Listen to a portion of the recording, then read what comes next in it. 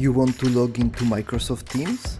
My name is Szymon Bochniak from Microsoft 365 at Work. I will help you to do that quickly and secure way. When you're starting your work with Microsoft Teams, the first thing you need to do is to log into this application. You have two ways to do that. First is to use the browser. Any modern browser, Chrome, Edge will work in this scenario. The only thing you need to do is to put teams.microsoft.com address in your browser. And when you will open it, found the login page to Microsoft Teams provided by Microsoft.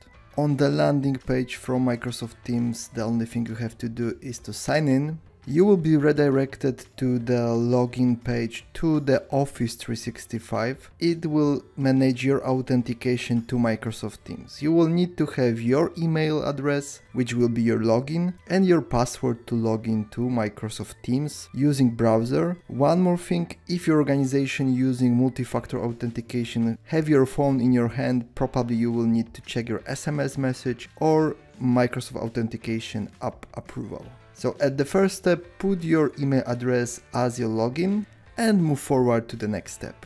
In the next screen, you will need to input your password. As soon as you will be ready, sign in. You can expect to have additional authentication provided by SMS message or Microsoft Authentication app. In this case, I will use SMS message to my smartphone. Put the code in the form and you will be able to move forward. As soon as you will put your code in here, you can sign in to Microsoft Teams.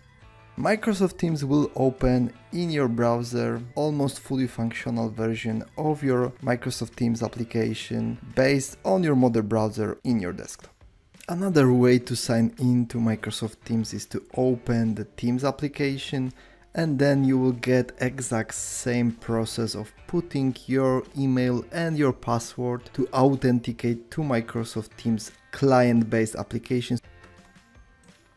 After you will put your password and your login, that Microsoft Teams application will open up. You can see it's almost the same with the browser application, but remember few functionalities are present only in the client application, which is highlighted in your taskbar in Windows PC.